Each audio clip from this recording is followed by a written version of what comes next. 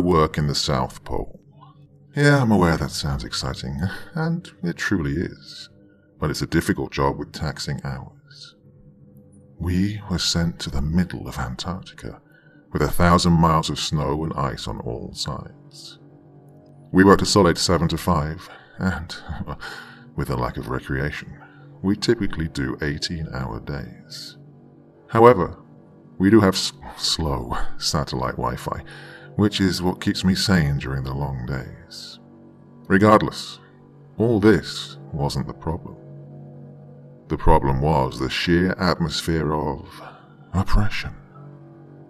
The whole place just didn't feel right. Most of the facility is subterranean, with covered heaters atop the roof and an entrance into a cement stairwell. The bunker is what you'd expect a grey, concrete square with men and women's bunking areas, and a few couples' rooms, a large bathroom facility with shower and toilet stalls, plus three labs and a fully stocked cafeteria, all with no windows. There was also a medical bay and two rooms with couches for therapy. After the double section entrance was the rec room. It had a pool table and bar. The wall was knotty pinewood paneling, like from the 70s.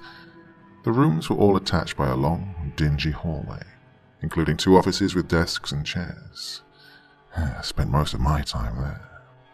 Atop the station was an observation deck, reachable with a ladder, with windows where we could see and hear the outdoors. But we usually only went up to smoke, since it was nearly always as cold as the outside. The whole place was poorly lit. Fluorescent lights and a few lamps in corners. But overall, it looked like a dingy green underground cement hell. Outside is exactly what you would expect from Antarctica. Snow for hundreds of miles in all directions.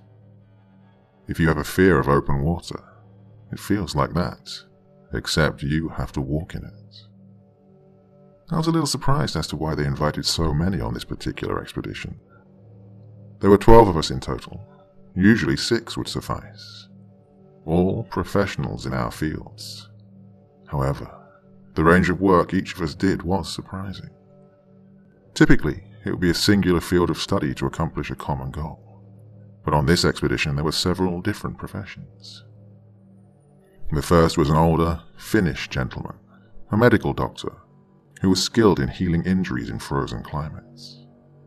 The next was a physicist who really was as surprised as us to be in the South Pole, for their work is often theoretical, and when in practice requires a team in and of itself. The next two were a British husband and wife team, both geologists. There were three men in their 30s for maintenance and driving, specialized in sub zero conditions and masters in any repair field. Also, there was a biologist, a young black lady who wore her hair in a bun and kept her lab coat on at all times inside. She was all work and no fun. Then there were even two therapists. Yes, two therapists. The first is what you'd expect a middle aged lady with blonde bangs and a clipboard, always wearing a warm smile. The other, well, he was a tall, lanky fellow. He was gaunt and his hair was jet black.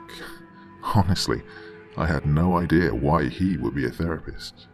I myself was intimidated to even say hello to him. I never saw anyone join him in therapy unless he specifically asked them. I usually tried to avoid him. There was another man who, I assumed, was a cook, until I saw we had to make our own meals. He was an odd, mousy looking fellow. He didn't speak to anyone, and when I tried, he would simply ignore me. I maintained that he would be my favorite person on this expedition, since he kept 100% to himself. Me? I was the chaplain. yeah, I know what you're thinking. There are half a dozen professionals here, so why do they need a chaplain? Well, I didn't think it made sense, but when I was contacted by the organization funding the trip, I didn't argue. They were offering a lot of money, and in my line of work, that is a rarity. The expedition was to be six months, and we were to each conduct specific experiments. I don't know what the others were assigned, but I was to journal on the religious implications of the expedition and provide any counsel for all the other participants on the trip, of any sect or faith. The counsel assignment I didn't have a problem with, but the journaling? That's the kind of thing college freshmen journal on in Theology 101. Uh, either way, I was getting paid.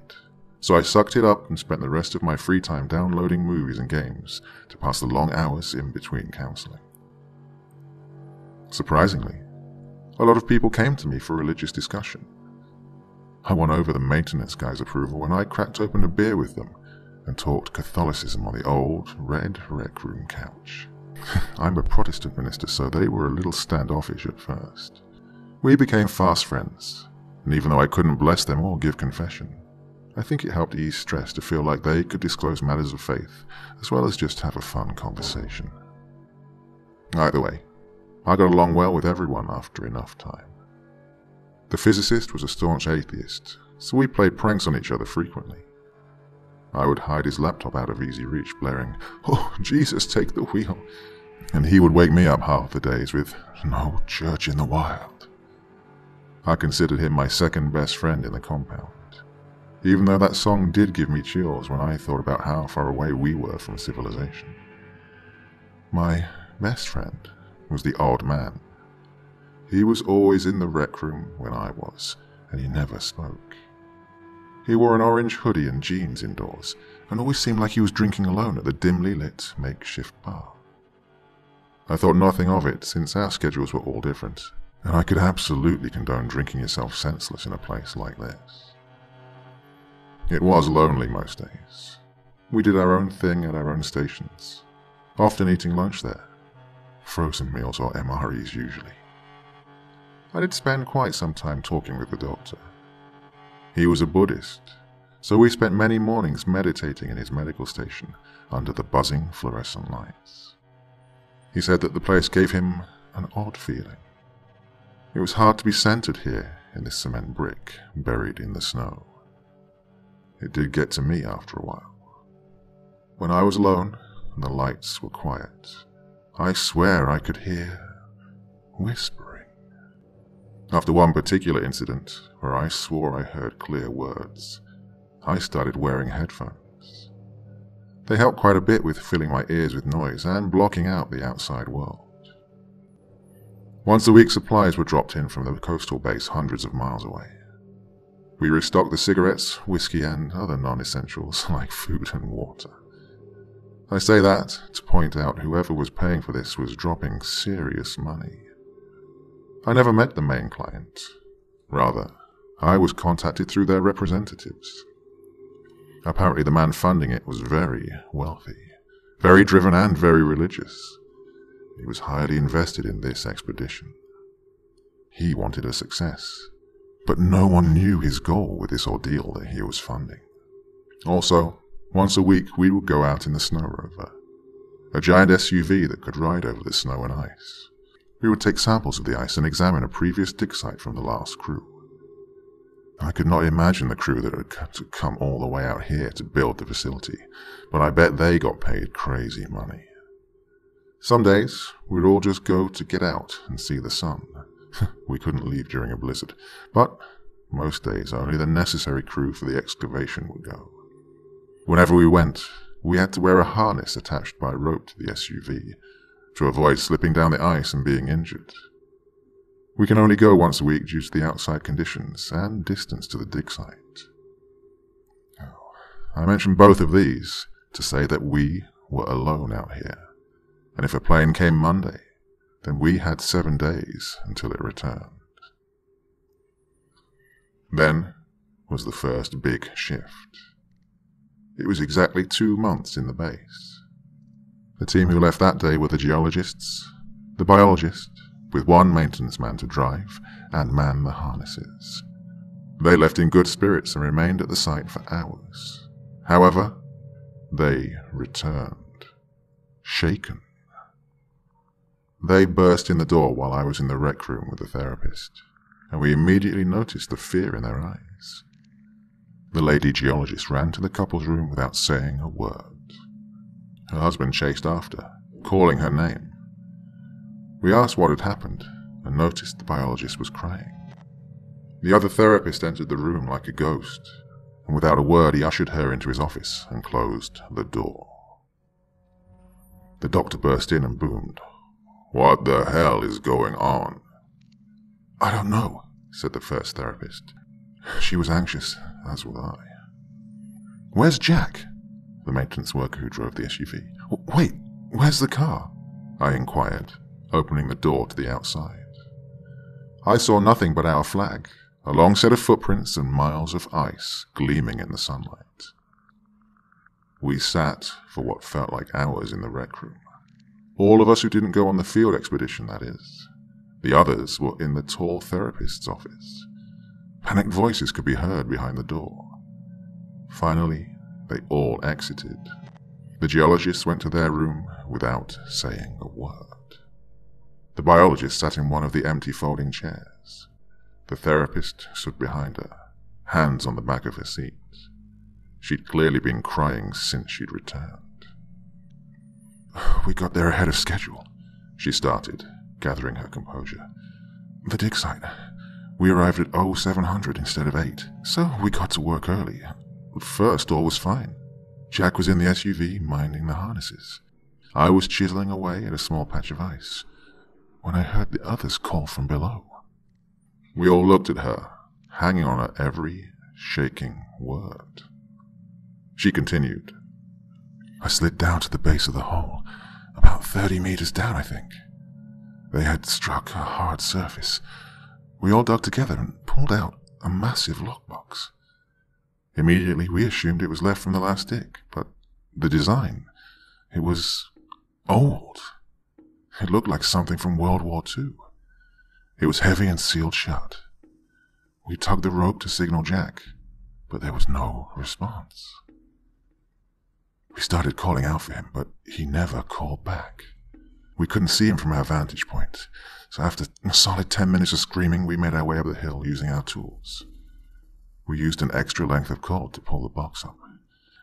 It took all three of us, but we got it up. When we reached the top, Jack was nowhere to be found. We searched the perimeter for well over an hour, but without maximum visibility, we couldn't have seen him. We checked for holes in the ice and signs of footprints, but his earlier tracks never left the side of the SUV. We loaded the box in the back and kept searching. We noticed something then. Something we absolutely should have seen already. When we climbed atop the vehicle for a better vantage point, we saw a massive single message in the snow. Run! We looked at her in disbelief. The mutual feeling of sympathy and that I could have searched better. People tend to have. She started tearing up again. We panicked. We drove away, but none of us can operate a vehicle designed for snow and ice. We crashed into a massive pothole about a mile south of here. We left the car and walked back. The find is still there, and Jack is somewhere in that deserted wasteland.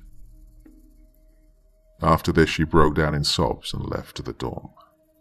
Jack hadn't answered a single radio call or even made an attempt at reaching us. The dig site was an hour's drive from our base, and we were thousands of miles from any other researchers. We were, essentially, powerless to do anything.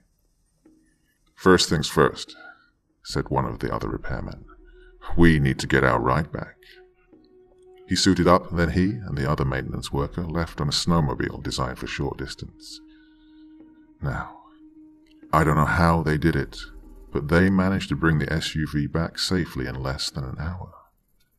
By now it was getting dark, and the search for Jack would be too dangerous to continue tonight. We didn't sleep that night. The odd man didn't even come to bed. He just wandered the halls drinking. I lay there, listening to music to drown out the sounds of silent sobs coming from down the hall. Jeez, this concrete slab. This tomb in the middle of a frozen dead zone. We were completely and utterly alone. The doctor remarked before bed, If Jack is still alive, he may be better off out there The next morning we set out. All of us, except the two therapists and the odd man, who I assumed was sleeping off a hangover. We dragged the log box out of the vehicle and laid it in the rec room. We loaded up and decided to deal with opening it later. We searched the dig site and surrounding area until evening and turned up nothing. The message in the snow was nowhere to be found, and there had been no snowfall that night. We found no tracks, no signs, no body, no anything. We returned depressed and feeling responsible for our missing companion. When we returned, however, we were greeted by an odd sight. A jet. On the snow was a ski-fitted jet. And not like the crappy junk plane that had dropped us off. No. This was an expensive private jet. We entered the facility to the sounds of loud, booming laughter.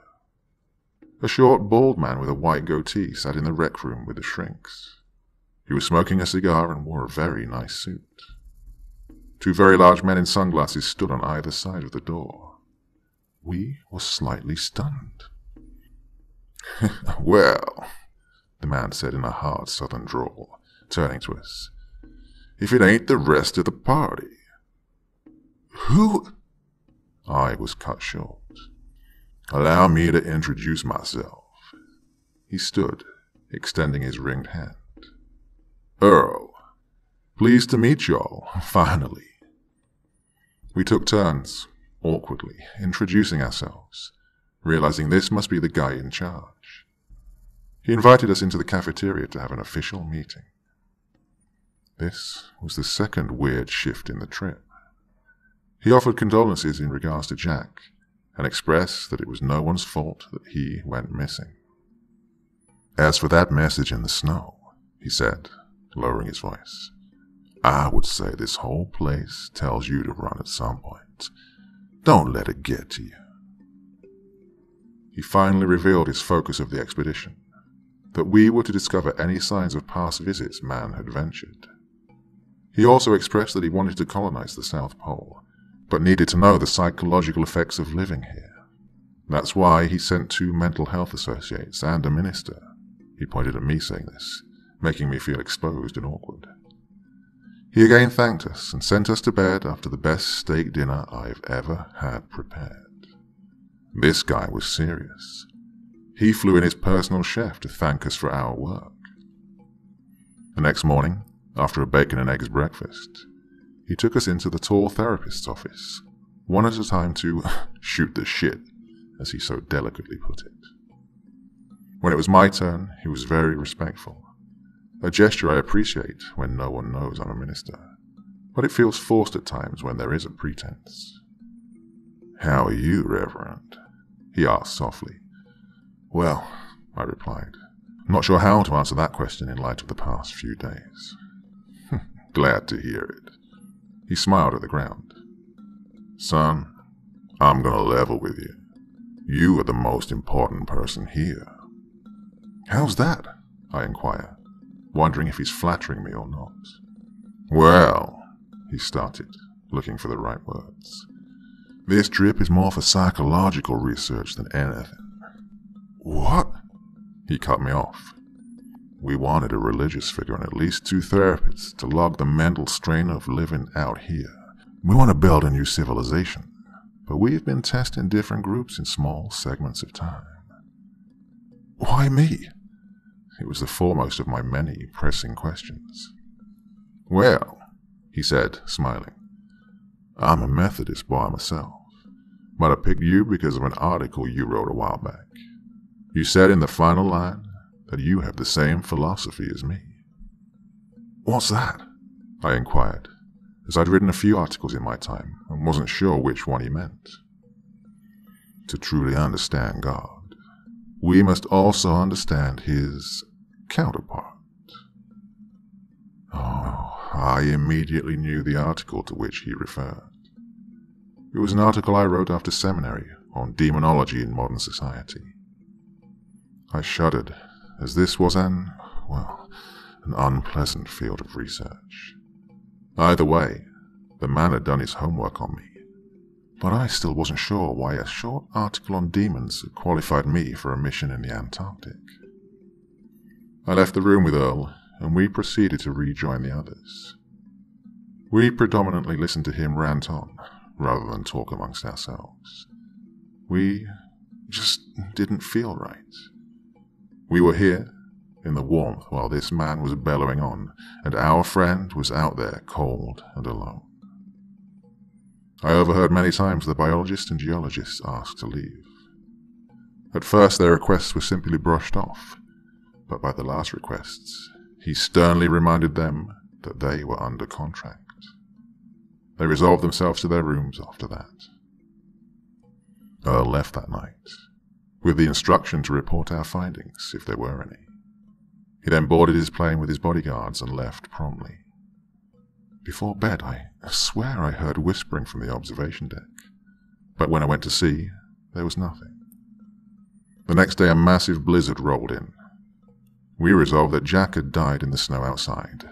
No person could survive a sub zero blizzard after three days. And this is officially where things went bad. We decided to open the logbox. It was sealed by metal welding all the way around. It took a little while, but the other two maintenance men used blow torches on the chest until it finally came free. They strained to pull the lid off its container. We gathered around close. I found myself closest to the box. They flipped the heavy lid over, which shook some black soot loose from the chest. We coughed, and when it cleared, we saw the contents. There was nothing. Or at least, nothing important.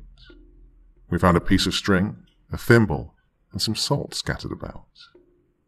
We sat there rubbing our heads and looking at each other. We discussed why this would be out there, in the ice, so many layers deep. We talked a little while until I noticed the physicist leaving. He was as pale as a ghost, so I chased him to ask what the matter was. Hey, I shouted as I caught up to him in the dawn. You good? He stood there, shaking his head. After a long pause, he responded, No. What is it? I was curious as to why he was acting so strange out of nowhere. Meanwhile, I saw the other participants walk down the hall to the cafeteria. Only, I noticed that the man in the orange hoodie was nowhere to be seen. My thoughts were shaken when the physicist spoke up. Did you see the word on the lid? He asked quietly. No. I was confused. I must have missed it. Can you read Hebrew? He asked, choking back tears, it sounded. No, I replied. I studied Greek. Wait, can you? Yeah, I'm Jewish. I was. I can read well enough Hebrew at least. His voice shook. Oh, I wish I couldn't. What did it say? Dybbuk, he said as a tear rolled down his face. I'd never seen him like this before, and frankly, I was a little scared. Oh, you can't buy into that. No, he shouted, cutting me off. You know as well as I do that this place is wrong. It does things to you. God, the first week I chased footsteps around the shower every morning only to realize I was alone every single time. Listen, I placed my hand on his shoulder. We're gonna be okay. I wish I could say I was telling the truth, but that box did have some sort of weird feeling around it. That night, around 2 a.m., I awoke to the sound of footsteps. They were so loud I heard them over my headphones. I went to check around, and no one was awake besides me. I heard soft sobbing from the couple's room, but knew better than to disturb them. They had it pretty rough right now. As I returned to my bunk, I walked by the cafeteria and caught sight of something awful. I turned to see the most horrendous sight I've ever seen. All the chairs and tables were scattered and flipped. Food was smeared all along the walls and ceilings, and utensils and appliances were scattered about. In the center of the floor was a massive, rusted steel cross, and nailed to it was Jack. He was soaked from head to toe in blood, and his eyes looked as if every vein had burst. Barbed wire covered his arms and legs, and nails were driven through his wrists and ankles. He was bald and thin, and when we made eye contact, he shook violently. Then he shrieked through spattering blood. Belphegor. Now it was my turn to lose control. I fell backward and slid on the tile. I must have been screaming my lungs out, for everyone poured into the hallway, asking in confusion what was happening. I'd urinated. I pointed to the cafeteria through tears and panicked breaths. The inside was totally normal. Nothing was out of place. No cross, no jack, no destruction. The last thing I remember was showering and opening a bottle of Jack. It was only three hours later I awoke in the rec room, covered by a blanket. Jane, the therapist, was asleep on the opposite couch. She was sweet through all of this, and I'm sure she was disappointed in my lack of professionalism. I was still drunk when I stood. Everyone was still asleep, and the blizzard still blasted our compound. I wandered the hall and heard the sobbing from the couple's room again. I realized, in my stupor, that I may need help. I knocked softly on the door, but the crying continued uninterrupted. Before I could knock again, I had to resolve myself to the toilet. I ran and vomited into the bowl, now feeling slightly more alert. As I stood wiping my mouth, I caught the brief glimpse of a figure leaving the bathroom. It was dark and tall, but I couldn't catch any more details. I finally had enough and walked to my bunk. I fell into a restless sleep that night, but I slept nonetheless. I woke the next day to someone shaking my arm. Wake up. My vision focused to see one of the maintenance men. Power's out and people are missing. I stood groggily. He turned to the hallway, where I could hear voices in the cafeteria. I saw the only other person in the room was the physicist. He was facing away towards the wall. Come on, I slurred. He didn't stir. He just laid there. I only left because I saw him breathing. I walked into the cafeteria. It was lit by emergency candles on the tables, where I saw the biologist, Jane, the doctor, and the two maintenance men. Counting me, this was less than half of our original group. They turned and the other maintenance man said, Well, look who it is. You're going to scare the hell out of us again. I didn't smile or disagree. I just sat beside the doctor and asked where the geologists were. They won't answer their door, Jane said, her age truly beginning to show in her tired, drawn eyes. The other therapist as well is missing. We're going to leave, chimed the biologist, as soon as the blizzard dies down. Fuck their contracts. How? We're a thousand miles from the nearest base. I felt negative for saying, but I didn't want to risk certain death for a little cabin fever. Well, chimed the man who woke me, we have a massive sled. We'll load with every tank of gas. Then we just have to get within 50 miles to the nearest base to be within radio contact. We have GPS, we'll drive in shifts, and we'll take our time as to avoid pitfalls. Is this agreeable? asked the doctor. Everyone nodded in agreement. In that case, he continued, I suggest we spend the next few days together, hoping the missing members return, and, if not, then we will beg their forgiveness in hell. I spent the day sitting in a daze. I just had no clue why we were all so distraught. We all laid up in the dark and hunkered down. We made small talk in an attempt to fill the void. The dancing candlelight played tricks on our eyes, and the darkness was oppressive. The six of us sat there, just sitting, just waiting. Finally, around 1800 hours, 6 p.m., Jane suggested we check on the geologists. We stayed close down the hallway and heard the sobbing. It was softer, but still present. Jane knocked waited, knocked again. Then she shouted she was coming in, but the door was locked. The maintenance man began pounding his fist and threatened to break in. He took out a kerning and picked out a key. It fit the door, and he slowly opened it to the bedroom. Inside was a nightmare. The first thing I noticed was the blood. It was everywhere. The walls, the bed, the ceiling, the floors. It covered the lamp and bathed the room in a deep red. On the bed was the male geologist. His eyes were wide open in shock, and his mouth hung agape. His throat was torn out, and his leg was chewed to the bone. His wife sat beside him. With her back to us, she turned, covered in blood herself. She was crying and chewing. She sputtered the bloody meat while sobbing. Her expression turned from sorrow to one of pure, unadulterated rage. She contorted her mouth to scream, but only a hoarse gargle and bits of flesh came out. The maintenance worker closed the door, and we all panicked in unison. Get the door, the doctor shouted. We followed him to the kitchen and pulled tables in front of the door. We piled enough furniture to board that, well, that animal in her cage.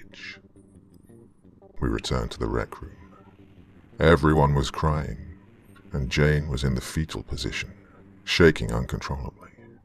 Oh, we leave tomorrow, huffed the doctor in between shudders. The blizzard still raged outside. I swear, at the times the wind was so loud, I felt like it was mocking me. I must have fallen asleep at some point, because a massive blast woke me up. I looked up to see others jumping to their feet.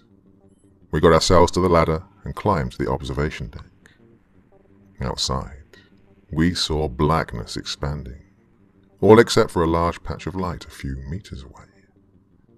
Through the whiteout conditions, we could. Well, we could make out fire. The SUV was in flames, gas tanks stacked around it. Atop the flames was a person. Upon closer inspection, I could see it was naked and dancing. Oh, God! The biologist lifted her hand to her mouth. Jane? It was Jane. She was naked and being burned by the flames. Her howls echoed through the dark storm. We watched as the fire consumed her body. She shrieked and screeched until she finally fell, remaining silent forever. We walked downstairs, feeling hopeless. We sat in the dark of the rec room, and no one spoke until morning. The physicist was still in bed, he was trying to ignore everything, but at this point I knew he was too far gone. The footsteps were loud in the unoccupied rooms, but at this point I had given up. If I was to die here, then so be it. We huddled in blankets and coats against the wall. We sat and we cried. The candle in front of our feet was the only light source.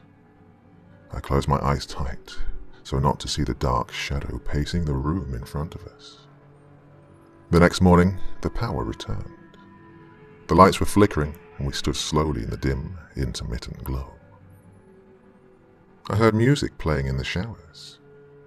We all walked together and looked inside. Within was the song Jesus Take the Wheel, being played on loop from an MP3 player. We walked into the dull grey room and saw the physicist naked, sitting on the floor in front of the iPod player. Blood appeared to be running into the drain beneath him. He slowly turned his head to me. He held up his left hand to his lips and hissed a long.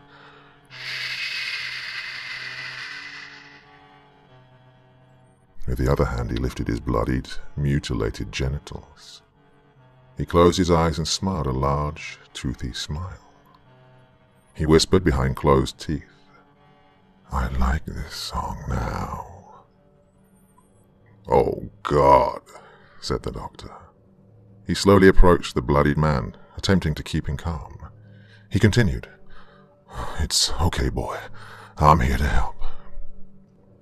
The physicist snickered again, eyes still closed and teeth still bared in a snarling grin. As the doctor got close, the man shrieked with inhuman volume and sprang forward.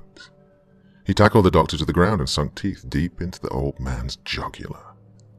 Blood ran down both the doctor's neck and the physicist's teeth. He stood, turning his violent intent at us. The doctor sputtered blood and choked for air. As the brooding man crouched to leap, a loud bang filled our ears. I fell to the ground in agony. The screeching in my eardrums was unbearable.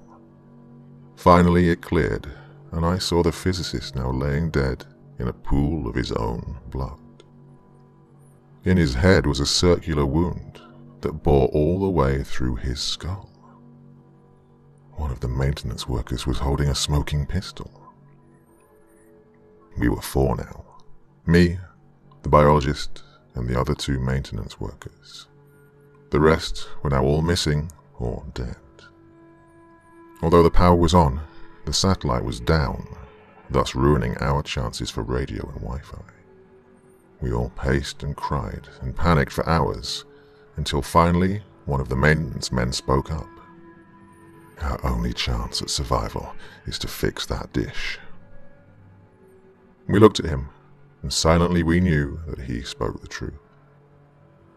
The outside was still completely whited out from the amount of snow and wind. I'll go, spoke up the other man. We'll go together, said the first. The biologist and I knew we could not argue. We watched them in their coats leave into the unforgiving blizzard. We waited for what seemed like hours, searching for radio signals and Wi-Fi. Finally, it came back. we smiled for the first time in a while and prepared for the men's return. We sat and waited. And waited. And waited. We didn't say anything, but we knew. We knew we were the last. She fell asleep in my lap after we cried ourselves tired. Before I closed my eyes, I swear I heard the giggles of a child. I awoke sometime later. I was utterly alone. I yelled for the biologist. I searched each and every room until I found the last thing I wanted to find. I found her in the observatory. She'd written a lovely note about wanting to see the outside world before she died. In her arm was an empty syringe that, I guess, is what she had used to end her life.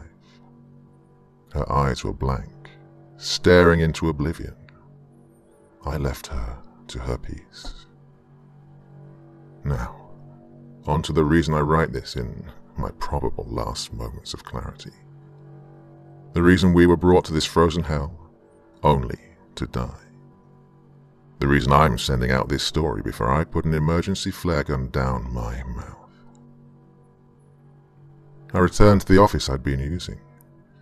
I was hysterical. I saw my reflection in the display mirror and noticed my eyes were totally black. The sight brought me to smash the mirror. I sliced my knuckles, which rocked me back to reality, and in my second of clarity, I noticed the slip of paper that fell from the shattered pieces. It was a note with a picture attached. The note read, If you're reading this, then I hope it isn't too late. This place is not what you think. The man in charge is not a religious kook. No, he is much more dangerous. By now you may have found that undiscovered lockbox. In it you found some trinkets to spook you. There's probably a minister with you to comment on the materials as oh, evil. This is their set and setting. That black dust that flew out?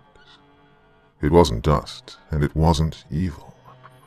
God, these people don't want to colonize. Ever wonder why you're so far away from any other bases? This is a weapons testing facility. You have unknowingly been testing compounds for a private company. This particular compound is an untraceable psychosis inducing strain of pathogen that is meant for world leaders. The concept is to have the enemy kill itself. If you've breathed the black dust, then it's too late. All you can do is attempt to get this message out.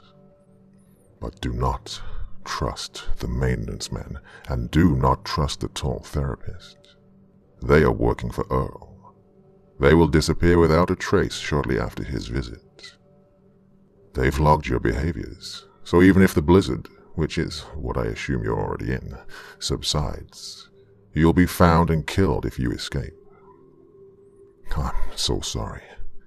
I lost my entire team. I wish you had never come. I'm sorry. Dave. The picture attached was what I assume was the previous team. In red ink, a man was circled and labeled me. In the picture was a mousy man in an orange hoodie and jeans.